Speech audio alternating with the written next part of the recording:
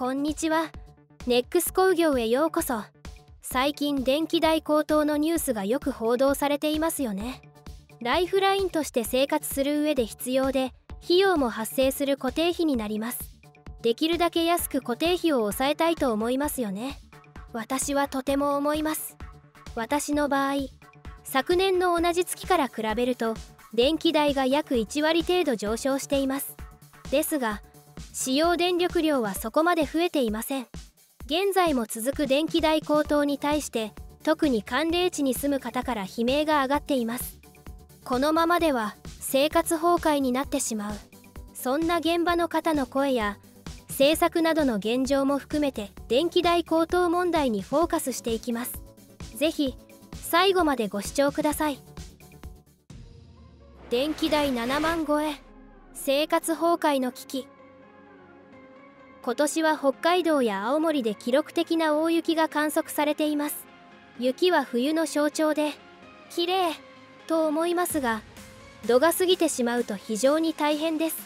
ここでは実際に生活崩壊危機に直面している方の生の声を届けたいと思います。北海道小樽市に住まれている30代主婦の家庭は今流行りのオール電化住宅です。オール電化住宅とは暖房設備や調理設備でガスを使用せず電気のみ使用する住宅のことです。しかしこの流行りのオール電化住宅が記録的大雪で裏目に出ています。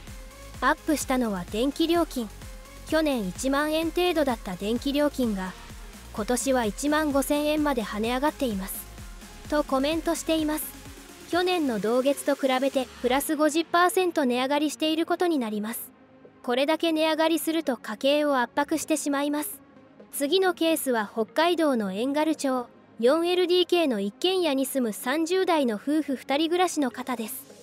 去年3月オール電化の家に引っ越しました。このプランで実際に請求された電気代はオール電化なんですけど7万6000円くらいですね。さらにそれまで冬の電気代は高くても1万6000円程度でガス代を含めても6万円以内でしたがここ最近の電気代高騰もありある程度覚悟はしていたが想像を超えた金額だったので正直驚きました。とコメントされています。この値上がりには驚きですね。去年と比較して約25%の値上がりです。電気代が約25%上昇なんて考えられないと思いました。この夫婦は石油ファンヒーターを使用する。こたつは電気をつけず使用する。という電気代対策をされています。これではオール電化の意味が見つけられません。しかしこの電気代高騰には国際情勢の変化なども挙げられますが実はオール電化プランの料金体系も関係しています。それはどういった料金体系なのか少しフォーカスしていきます。オール電化プランは電気料金が安い夜間帯を利用して自然冷媒ヒートポンプ給湯器と呼ばれる給湯器を使用してお湯などを沸かします。この沸かしたお湯などを日中に使用できるのでガス契約が不要となっています。そのため深夜帯の電気料金は安く設定されていますが日中の電気料金は高く設定されています。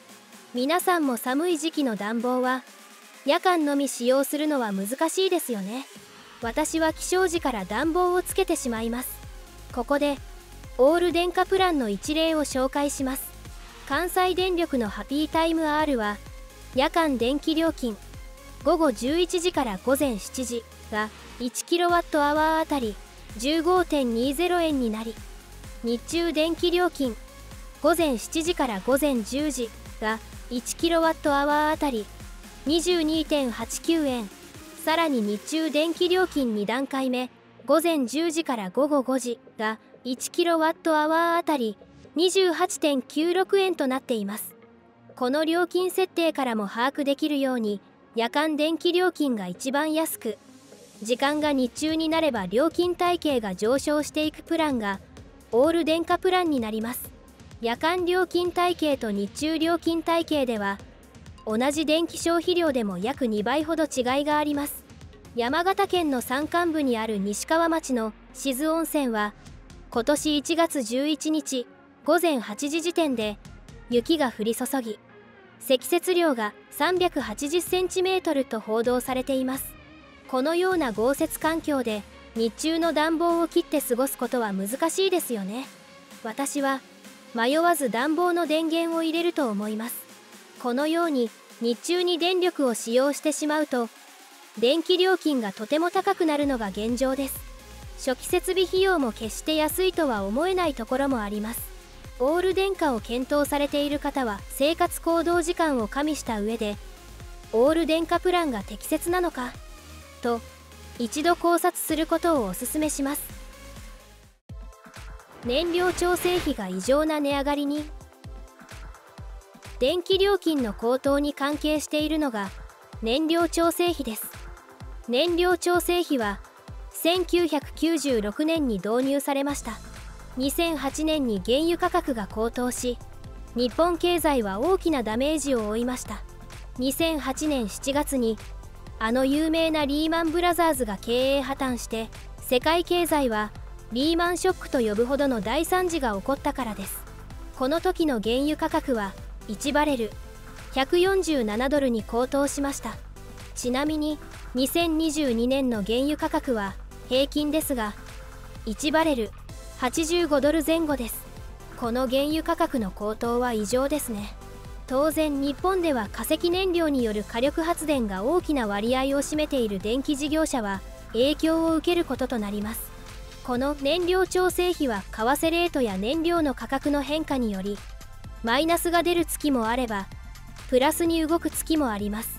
すなわち国際情勢の変化など外部の影響で請求額が変わる金額なのです。その点に注意が必要です。さらに新電力会社の間では燃料調整費の上限を撤廃する動きが加速しています。2022年12月には新電力だけでなく大手電力会社である北海道電力東北電力中部電力の3社が一部の自由契約プランで上限撤廃を発表しています。本当に怖いニュースですよね。毎月絶対に発生する固定費なのにどうしよう。となります。しかしこのような状況に政府は打開策を出しています。それはどのような打開策なのか気になるので進めていきましょう。電気都市ガス料金の負担軽減策が今年1月にスタートします。標準家庭では総額約4万5千円程度の負担軽減が見込まれています。これは嬉しいですよね。ですが節電対策は引き続き重要になります。国際情勢が不安定な現在石油燃料を輸入に頼っている日本では高い金額提示をしないと石油が輸入されません。今後もさらに強化した電気代高騰対策を政府に期待したいです。CO2 排出ゼロを目指したオール電化とはオール電化住宅には実は優れたメリットがあります。その内容について少しフォーカスしていきます。それは補助金です。大阪府泉大津市では泉大津市高効率給湯器設置補助金がもらえ上限額は2万円になります。さらにもう一つ自治体を紹介します。茨城県常陸太田市では太陽光発電設備及び高効率給湯器設置費補助金がもらえ一律7万2000円になります。このように同じエコキュートでも地方自治体が推進している事業になると購入後補助金を申請すればもらえます。皆さんも一度住まれている地域の補助金に関してリサーチしてはどうでしょうか？地域によってはデメリットが多くなる。オール電化プランは先ほども述べたように夜間電気料金が安く逆に昼間は電気料金が割高になります。そのため1人暮らしや学生共働き世帯など日中家を留守にされる方がメリットを受けやすいとされます。そのため小さい子どもさんがいる家庭専業主婦家庭などは日中に電気を使用することが多く逆に電気料金が通常契約より上がってしまいます。日中家で過ごされる方は使用電力量に対して料金が加算される電力会社などにすれば使用した分だけ請求が来ます。このようにご自身のライフスタイルによってはオール電化はデメリットにも転じます。さらに災害などでライフラインが停止した際にはオール電化住宅では何も使用できなくなります。少し話は変わりますが震災などでライフラインが断たれた時電気ガス水道のうちどのライフラインが最短で復旧するのか皆さんはご存知でしょうか？正解は電気です。リサーチの結果約2日前後で復旧します。そしてオール電化は寒冷地帯ではメリットが少ないとも言われています。寒冷地帯では非常に寒くお湯や暖房設備を頻繁に使用します。そのため日中も絶えず電気を使用するので料金体系が高い時間帯で大きな電力を使用します。ここまで様々な方面からオール電化についてフォーカスしてきました。ここで少しネット上の声を見ていきましょう。太陽光はどうしたんだ？おかしいな。実力を発揮してほしいわ。これが再エネの実力。いざという時に役に立たない。電気は弱いね。特に太陽光は。など様々な意見が寄せられました。特に太陽光に関しては雪が積もると発電できません。ちなみに太陽光パネルは寒い時期に開放電圧が上昇して出力が上がるのに雪で隠れてしまってはもったいないと感じます。皆さんはオール電化の電気代が高いについてどう思いましたか？今回の動画の感想や扱ってほしい話題があればコメントいただけると幸いです。そしてこの動画が良かったらグッド評価チャンネル登録よろしくお願いいたします。皆さんの応援が励みになります。また Twitter と LINE でも発信をしております。リンクは動画の概要欄に貼っています。気になる方は是非チェックしてみてくださいね。